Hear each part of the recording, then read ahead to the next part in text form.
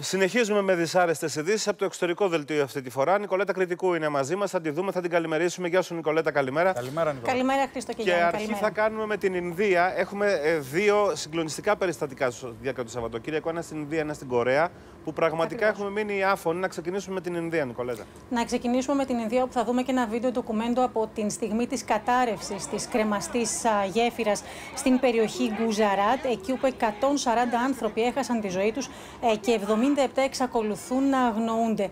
Ε, χιλιάδες πιστοί είχαν σειρεύσει για να γιορτάσουν την γιορτή τη Είναι μια ενδική γιορτή, είναι η γιορτή των φώτων, είναι η γιορτή του φωτός έναντι του σκότους. Εκεί λοιπόν 500 περίπου πολίτες ε, διέσχισαν τη γέφυρα. Η γέφυρα προφανώς δεν είχε συντηρηθεί επαρκώς και κατέρευσε με αποτέλεσμα οι πολίτες ε, να πέσουν στην, στον ποταμό Ματσού.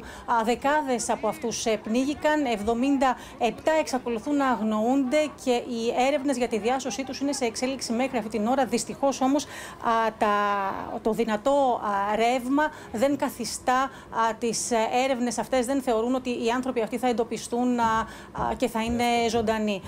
Ε, να σας πω ότι πρόκειται για μια ιστορική γέφυρα 230 μέτρων, η οποία όμως είχε κατασκευαστεί το 19ο αιώνα, την εποχή της Βρετανικής απικιοκρατίας. Είναι πραγματικά συγκλονιστικές στιγμές.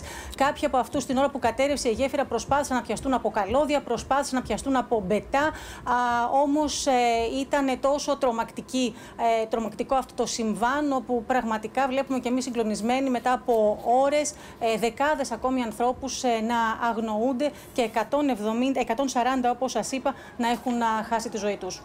Μάλιστα.